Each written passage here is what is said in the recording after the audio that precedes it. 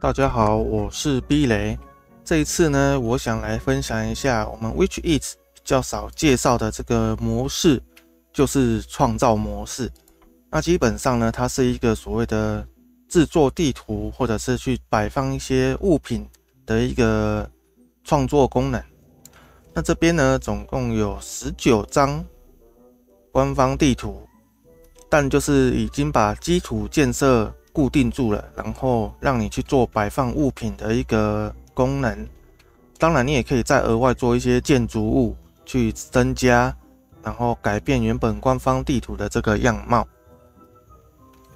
接着底下有十张作为一个地图的一个基本成型，就像小镇白天呢是清晨的一个基底，后续。加上一些建筑物，才变成了清晨。那这边呢，有一些地图啊，像内部、小镇白天，还有小镇夜晚，这三张地图呢是没有所谓的游戏的 BGM 的。那么以清晨作为例，创建游戏之后，清晨它其实是有一个 BGM 的，我们把音量稍微调大。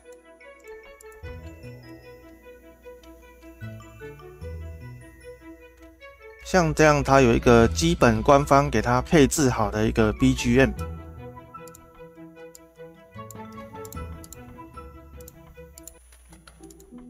但是呢，它的一个基底小镇白天呢，其实是没有 BGM，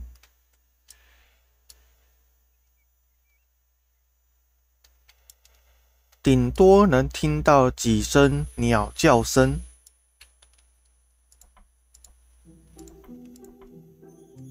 那小镇夜晚的话，成型是南瓜小镇。南瓜小镇也有一个非常明显的 BGM，那我个人也是蛮喜欢这一首的。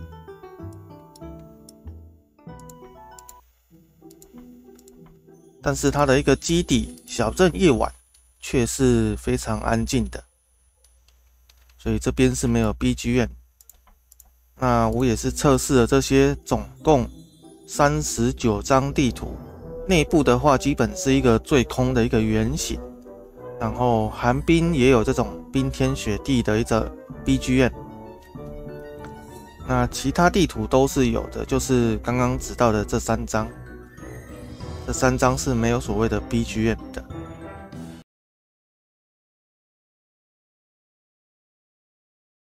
所以如果你个人呢是比较喜欢它。某几首 BGM 的话，就可以照着你喜欢的一个基底去做一个创作。那么再来这一边呢，就是要说到一些比较特殊的，它的每个地图啊，明亮度都是已经固定的。像你的这个寒冰白天，基本上你怎么调，它的亮度就是这么亮。那如果你自己本身要做创造地图的话，可能可以先做稍微调暗一点点，然后个人建议在创造模式下，尽量把你的这个几乎都拉到最低，因为有可能在你添加各种建筑物的情况下，然后它的一些贴图效果啊，可能地图上本身有这种飘雪的这个效果，都怕会影响到你电脑的效能，所以我个人是建议可以把它先调低。那再来，像白天的这个冰雪，它都有这个飘雪的这个效果。像如果你不喜欢的话呢，是可以把它作为一个不用在地图的平面做建造，我们可以把它拉升到高空，拉到高空之后就没有这个飘雪的效果了。那这时候你就可以从这里去做一个开头，例如我想要先做一个地板。然后我们设定这边其实可以稍微试着一下用英文模式。英文模式的好处在于它这边搜寻，基本上你用英文才能搜到英文原本的一个方式。如果你在这边使用中文的话，像我们举一个烟囱来讲好了，你要打烟囱。基本上它中文不太能够打得出来，然后这边也没有聊天模式可以让你去做复制，所以用成英文的一个界面去做搜寻的建筑物可能会比较快速一点。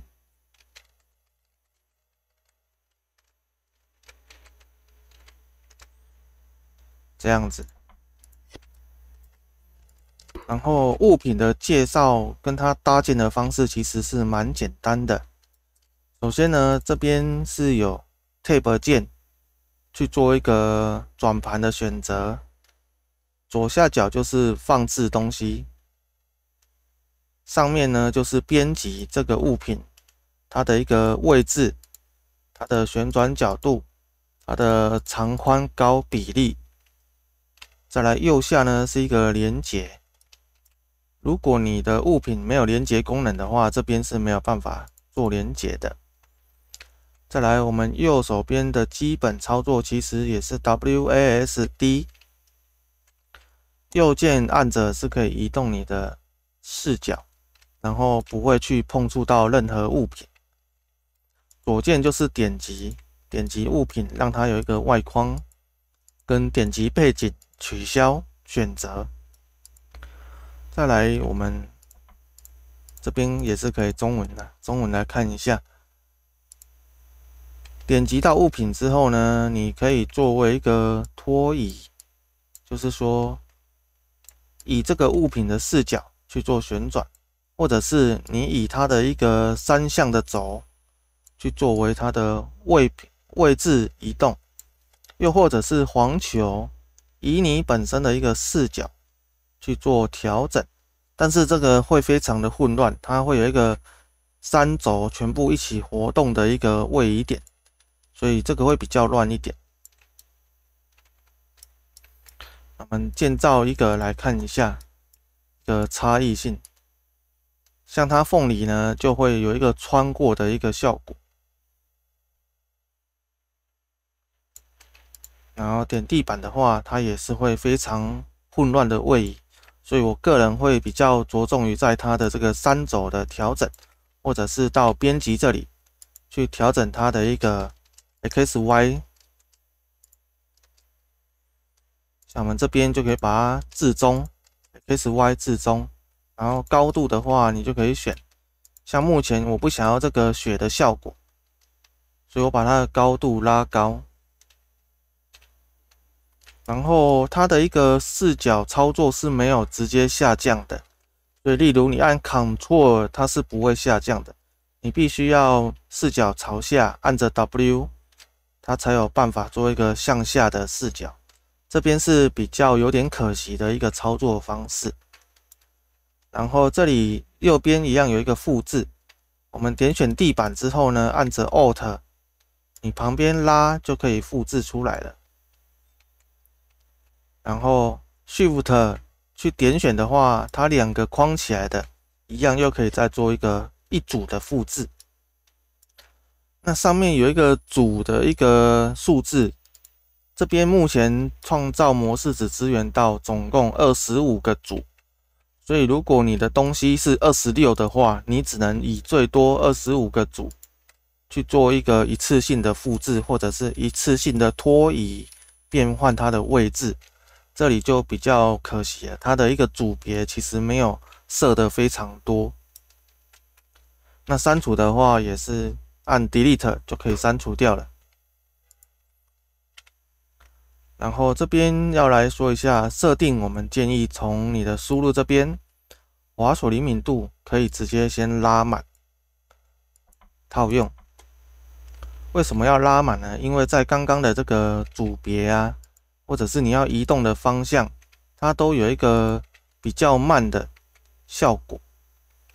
如果以现在这个拉的方式来看，十的滑鼠灵敏度移动是偏快，但是我个人是觉得还好。如果你用你平常 FPS 在瞄准射击的这个来看的话，它的一个滑鼠我已经拉到荧幕边了，它的移动是比较小的。所以这个是靠看你个人感觉去做调整。我个人在创作的时候就会把它拉到十。要作为一个快速大范围的一个移动的话，这样子那或者是说你从荧幕的角落拉到离荧幕的一个斜对角，那它也会有一个比较远的距离。这是在操作的一个小诀窍，简单做个分享。那这边会关系到你在本身有没有收集到它的一个物品，像我的这个活动物品就少了一个这个，所以我没办法在建造的模式下抓出这个物品去放到地图内。那秘密物品呢，应该也是有这样的关联。普通物品的话，是基本上它的一个大概三四百个物品都是可以随意使用的，所以这个普通物品不用特别去解锁，应该没有影响。那建筑的结构呢，也是挺多的，这边都可以去做慢慢的研究。那像有些屋子这种，它并不会给你一个很好的一个内部摆设。所以你可以自己创造一个空屋，然后去在里面做一些家具的摆设之类的。然后有一个快捷键，刚刚没有介绍到，Q 就是中间这一个，可以做旋转，或者是可以放大、缩小。那当然，你用编辑的这边其实就是 Q 的这三个。如果按右边重新整理，让它恢复预设值，就会变回原本的样子了。所以 Q 也就是等于编辑这一块就是 Q。然后本地跟领域这一点，其实我还没有特别的去区分出来，所以我们可以稍微练习一下本地跟领域有什么差异。那么这里呢，我想要听有 BGM 的这个地图，所以我们换来南瓜小镇。然后这边呢，我们由于它地图本身也比较暗，所以我们的亮度可以稍微调亮一点点，没关系。好，然后假如你想要先在地图走走逛逛的话，它会有一个要求，我们换成中文来看。它会要求你，你要游戏测试的话呢，必须测试之前保存这一个。好，那我们按 OK 之后，给它一个名称，最好是不要常见的。那我们就来一个好，之后按储存。这时候你的布局呢，就会有一个储存了。这时候我们返回在游戏测试，就可以进来玩了。那你在这边就可以让选择技能，只是说一个人玩的话，其实没有什么太大的重点。这边来看一下，我们要来看地图，它本身有帮你做了一些边界，也就是粉红色的这个结界，让你不能跑出去。那你还是可以稍微认识一下，这些结界外面也是有建筑物的，那就说明了这个。结界外其实也是可以做一个搭载的。退出游戏测试之后来看一下，结界外其实是可以做搭载，你也可以站在结界外。但有一些其实是非建筑物，像这些树啊、外面的地板，它可能有一些不是建筑物，有些是一个贴图，空心的贴图。那如果你跑太外面的话，可能会掉到地图外。这时候建议立即退出游戏测试，你就可以恢复你原本的这个创造模式下的一个自由视角。那我们认识一下地图边界之后，其实可以用这个边界去做一些，就是说它也有一个最上面有一个极限的顶端呢。但是如果你把你的地板建造在一个极限的顶端之上，那你就可以在上面开始活动了。我们先随便找个地板来建造起来，然后这边也顺便教一下，你建造的东西，你不想要建造的话，按一下一，英文字母的一，它就可以取消掉了。这样子。这样子不是按 Delete 取消，是要先按一取消，它就会把这粉红色的一个预设景象给它关掉。好，那我们这边就是有一个地板，这地板我们可以去测试一下，大概像它这张图的一个边界，差不多就是这里。所以如果你地板放太低，放太低的话，它可能会造成一个卡住，就是我这边是进不去的。这边进不去，所以我往后走就会掉到地图外。那最简单的方法其实就是把它拉得很高。那我们就从编辑这边去看，最后一项是它的高度，先预设个一万，好，这样我们就知道它的一个南瓜小镇上面就可以开始做一个建造，并且欣赏它原本的 BGM。那地图本身的一个亮度，就是刚刚说的，已经有一个预设值了。所以，如果你想要透过亮度去改变，也不是不行，只是说它的灯光效果并不会大于原本的地图。首先，我们在这个灯泡这边，这边是有一些功能性的，像猎人的出生点、女巫的出生点，然后可以做切换的开关。还有这个是灯泡，灯泡的亮度呢，其实也是不会很大。那么可以点这个放大来看一下，它的亮度呢不会太夸张。然后灯泡也算在一个建筑物里面，看地板、女巫、猎人加上灯泡，所以你真的需要大量的灯光才能去做一个非常大的一个改变。那老实说，是有点可能在建筑完之后，再做一个灯泡的一些装饰，去改变你的光源，会是一个比较后面的步骤了。那它这边也有像这个一次性的跳电跟重复的这个幽灵跳电，然后还有这个森林的这种蘑菇跳电，这些功能类，然后魔法墙也是在这里。然后魔法墙的话，这边也顺便介绍一下，如果你在生成的时候，滑鼠滚轮去滚它，它就有这个方向性去做提前的旋转。那你当然也可以事后在编辑这边做一个旋转。啊，魔法墙比较奇妙的是，你没有点到它，它会有比较偏向隐身消失的这个效果。如果你要建魔法墙的话，个人是建议在最后面把这个你的基本的雏形盖完之后，最后面才建魔法墙。不然你可能在点这个时候，又会点到旁边的魔法墙。你明明要整理地板，但是你又点到这里，就会比较混乱。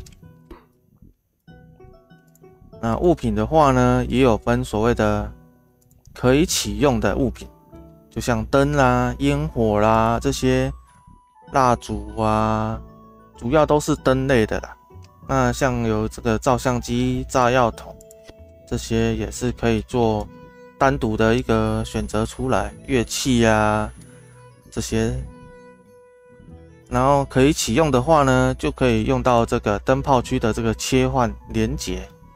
那我们来做一个连接的教学。这些我们先把它拿掉，因为这些不会连接。好，那首先点击这一个开关，然后 Tab 按着切换到这个连接选项。那你按着 Shift 去点可以连接的地方，它就可以有这一个已连接的列表。那如果你有很多个，例如我想要顺便切换一个门，然后我想要顺便让它。有一个灯可以切起来，那么一样回到连接这边，点选这个开关。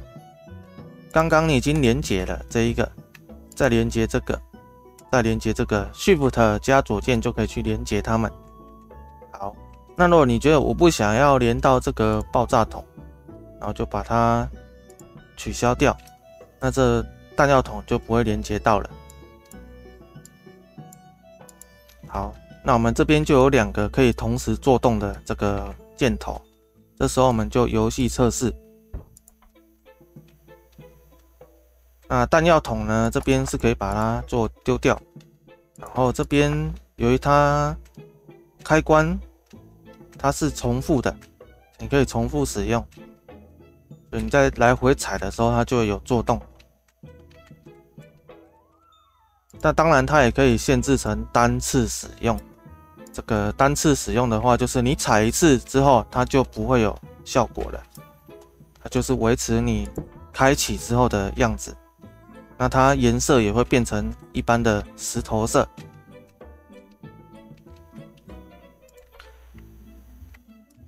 所有的这些开关呢，都可以选择单次或者是连续使用，但是它有一个要求点，就是一定要猎人或女巫触碰到，并不能使用物品去做压、按压的方式，这是比较可惜的。因为在官方的地图，其实有一些是可以用物品的按压去做一个连接，不过这个功能目前没有开放。好，那我们就来测试一下这个连接这个，这个再连接这个，所以这边呢其实都是有做一个互动连接的。像这个这个按钮，它就是要持续踩着的。然后时间呢，就是踩一下启动一次。那这个开关呢，会比较，就是有点微妙，它是有一个碰触。那碰碰触之后，它也会做一个开关的摆动。啊，这个要按着，这个踩一次就有了，所以按着它又会不亮。所以这个连接呢，算是蛮有趣的，就对了。那大致上呢，它的功能其实就是这一些。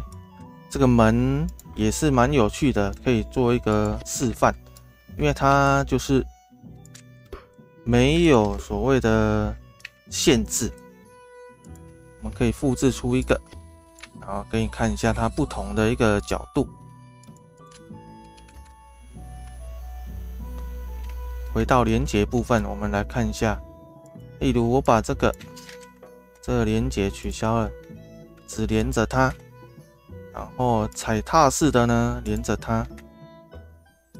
踩踏式就会有两个阶段，然后压着的话就是只能去压着，它会向下沉，哦，放开它又往上沉的。那这个是踩一次。离开之后，它就会自己到定位，再踩一次，它又会回到原本的位置。所以这两个踩踏的方式呢，需要压着跟不用压着，也是一个不一样的选择。然后呢，在某些物品，像这些有功能性的呢，它都不能够让你做一个放大，看它只有位置跟旋转。就表示它还是能够旋转，但是它不能放大，它连简单的长宽拉伸都不行，所以它不能给你做一个放大。像门的话也是一样，它也不能让你做放大。那地板类型的话，基本上是可以放大，但是它会有一些图样是不一样的。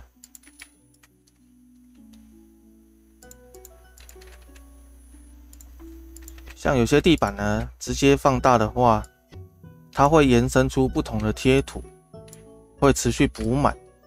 那有一些呢，可能就比较没有，有一些变成会是所谓的延展性的，像这一种，这种它就只能延展性，所以你会把它的这个竹子的竹边呢变得非常粗大。那如果你要比较好看的话，可能就要是同样的竹。竹子去做一个延伸，就可能要变成持续的复制出来，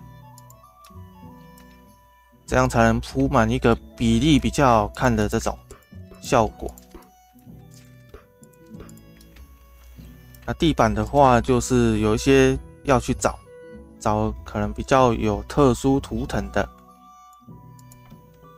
或者是这种围墙也可以当地板，都没有什么问题。就是要发挥自己的想象力了。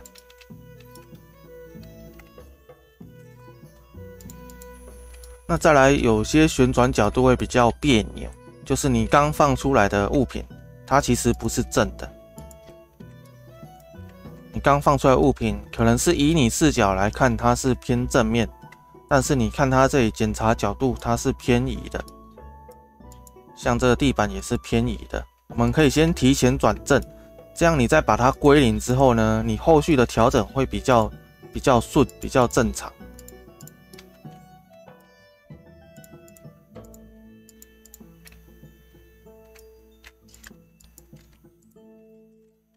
地板我们可以先拉长放大，作为一个基底。然后它如果这重叠的话呢，建议是把它删掉。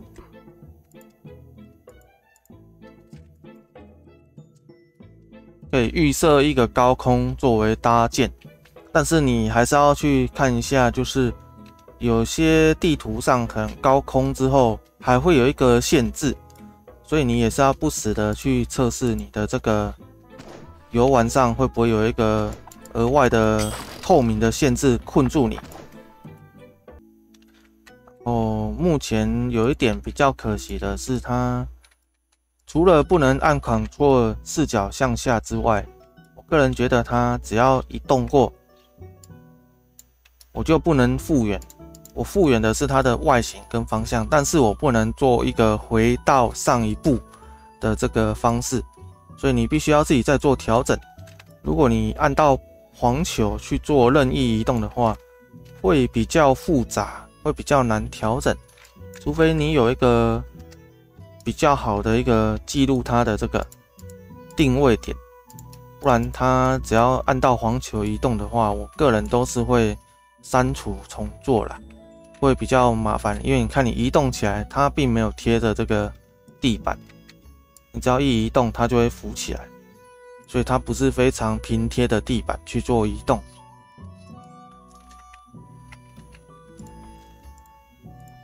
那整体来说呢，创造模式也是可以稍微花点心思来看看它要做什么的。那这边呢，就是如果你可以，你有时间做一点做一点的话，就是从这边再储存一次就好了。储存之后呢，下一次这个就可以按否，按否之后，你可以从下一次这个创造模式这边按载入地图。这里有你刚刚储存的 SS，然后进去，但是进去之后你会在地图的正常出生点，你必须要往上移，往上移，往上移到你建造的地方。那么这边呢，我们用一个生成点来储存，储存生存点之后，例如这个女巫，那我们等一下。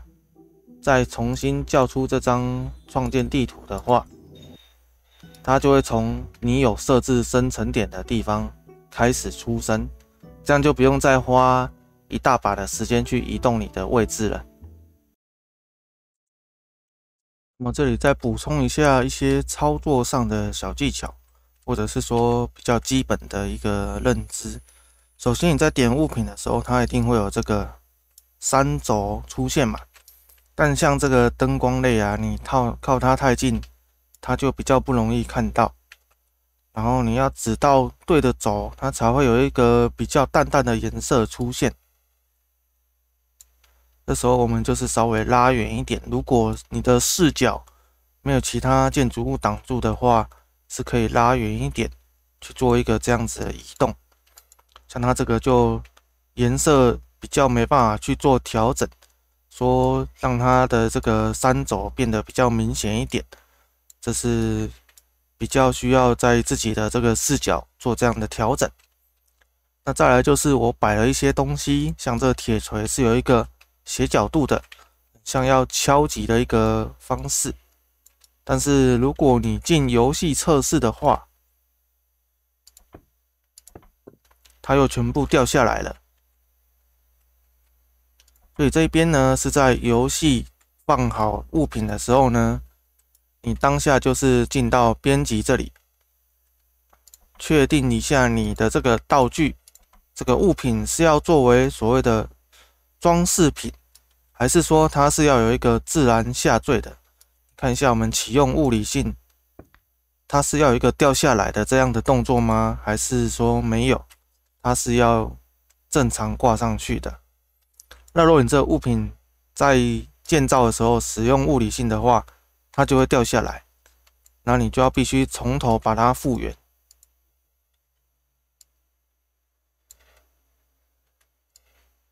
你就必须再做一次调整。所以，如果你是想要当挂饰的话，就是禁用物理性。然后，它如果是可以切换灯的话，你就可以在这边选择它是要开启还是要关灯。然后我们再做个测试。所以以女巫视角的话，刚刚这个铁锤啊，没有做禁用物理性，它就会掉下来打到旁边东西。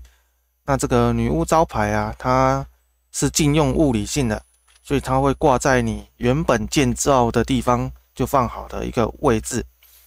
但是它整体来说还是一个所谓的物品，所以女巫左键它一样是可以作为变身的。并不像这些都是所谓的建筑，所以如果你的物品挂上去，在可以变身的 High and C 模式跟 Mobification 模式下，它这些都是女巫可以作为变身的物品，比较难说把它变成直接的一个建筑物，然后让女巫没办法去指到变身，这个是也是还没有。作为一个可以变换的功能，那我们这边呢，就把我想要固定的东西禁用物理性，然后这一只熊呢，也把它禁用物理性，那个不会动的动起来的猎人，也把它禁用物理性。这时候我们就是测试看看，它怎么打都不会移动了，但是我没禁用物理性的这个。还是会被打中，所以你看，它以猎人视角，它是不会移动的建筑物了。但是你没禁用物理性的话，它打到这个还是会有物品的这个弹跳，跟它的一个反击反射。这在猎人视角来讲，就是有这样的差异。那如果你是女巫的话，不管怎么样，它都是可以变身的。管怎么样，它都是能够变身，而且也能够用住用到它的这个互动键。然后在创造模式下的测试呢，是没办法按着 Shift 去稳定稳定你的物品。这里也是在操作模式没有弄得很好，等于如果你这个铁锤倒了，就没办法站起来了。但是就是做一个测试而已。所以在这个编辑这里的物理性这边也是要稍微去给它做一个研究。那如果你想要看你的东西有没有摆正，你也可以把它拉起来，然后启用物理性。如果它底部是平的话，碰到地板它就会是正的。那如果你像这一个，把它拉高之后启用物理性这里。当它如果正常放到地面就是平的，那如果你把它做一个旋转，